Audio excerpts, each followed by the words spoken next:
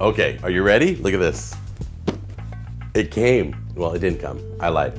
I canceled my order because I ordered it through the mail, and most of you have been emailing me, when are you gonna do the big city slider? When are you gonna do the big city slider? I wound up canceling the order because they wanted to charge me like $14 to ship this over a six week period. It's crazy. So I went over to Bed Bath & Beyond and picked it up for 20 bucks and brought it home just today. So we're gonna do it right now. guys, stop the emails now. We're doing it, okay? I got my ground beef right over here. I got my big city sliders. And it's really interesting because they say that it, you just, you put the meat in and you grill it for two minutes and you're done. It works on any stovetop. Yeah, we'll see. And of course, you've got that, that little mug right there, Billy Mays. Amazing. All right, so let's take a look. But first, oh, by the way, I gotta mention, now you guys have seen the video, right? You've seen little, if you haven't, go online and look for the Billy Mays Big City Slider commercial. It's everywhere.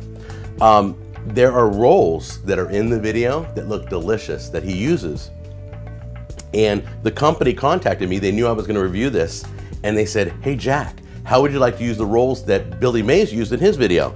And I'm like, Cool. So I got a letter here and uh, from MacCore Distributors, uh, my buddy Guy, who's the president ooh, of the company, uh, he sent me one package of the rolls that are in the video, and they're called now, we don't get these in California yet, but they're called Martin's Famous Dutch Taste 12 Dinner Rolls. They're potato rolls. And they are so delicate and so soft, you can smell them through the package. These are, feel amazing. So I'm so thankful. And if you guys, if you guys are interested in getting these, since you don't get them just anywhere, you gotta like specially order these.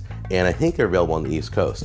But you can go to potatoroll.com and that should be on the screen right now. Potatoroll.com these are the rolls from the commercial. How cool is this? All right, so let's do it.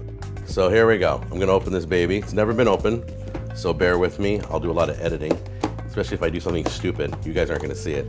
All right, you might see a little bit of it. Okay, let me see. Oh, look, an easy, look at a little tab you can kind of, there, see? I love those little tabs.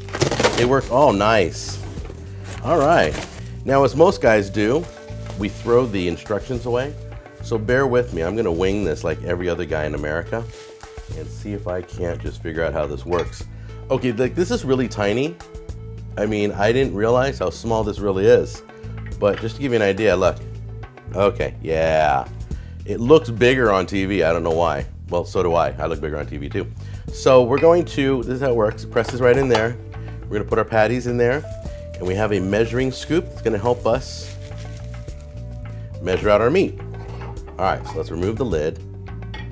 Everything's been sanitized, don't worry. Everybody's like, oh, he didn't wash his hands. I washed my hands. All right, we're gonna take a scoop of, of meat, and I think that looks good. We're just gonna try it. So there's that scoop right there. Ta-da. Okay, that may be a little big. There, okay. Now, now I don't know whether I'm supposed to start grilling and then pressing, or if I press, then grill. So I'm gonna peek at the recipe guide here and I'll be right back. It says to just put the meat in each one of the sections and then it says to just push down on it and then put it on the stove on a medium heat. And in two minutes we should have it. But my producer said that these didn't quite look like the one on TV, so we're going to just do a little touch up here.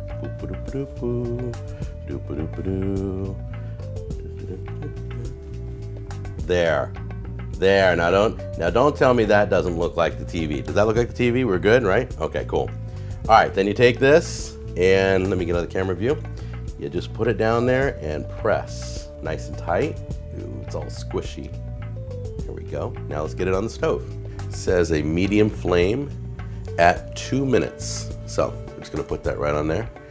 And it says it works on any stovetop. So let's take a look and see. All right, we're halfway into it, about a minute and it sounds like it's sizzling pretty good. Just took these off. It's been about two minutes. Let's see if they stick. And voila. Well, nothing's stuck there. Looks like these are moving. These are moving pretty good too. Look juicy, don't they? Let's see if they're sticking. Nope. Absolutely, completely loose. None of them are stuck at all. They're beautiful. Both sides are cooked. So we're gonna have to do a taste test now, now that they're fully cooked. All right, so here's the best part. I get to taste while you watch. and we're gonna find out if it's really as good as they claim it to be. All right, here we go. Mmm. Mmm. Oh. Mmm. Mm-hmm. Mmm. It's delicious. Okay. So the mini burgers are really good. So first of all, I want to say thank you to Guy for sending me the uh, Martin's potato rolls. I also want to say, uh, Billy Mays, you uh, are correct. This is great. It's called Big City Slider Station. Go check it out. Also, don't forget to keep those emails coming and be sure to follow me on Twitter, okay? We'll talk to you soon. Bye bye. Thanks for watching the show, but before you go, let me tell you about my line of sauces. It's called the best barbecue sauce you'll ever taste. It's delicious. And if that wasn't enough, we made a hot one. There it is. Whew, it's good. Hey, check out the best teriyaki sauce you'll ever taste. I got that too. Bam, right there. And if you want more, I got the best gourmet seasoning you'll ever taste. Mm-mm-mm. Look at that, baby. Check it out at thebestsauces.com. I'll be there waiting for you. See you there.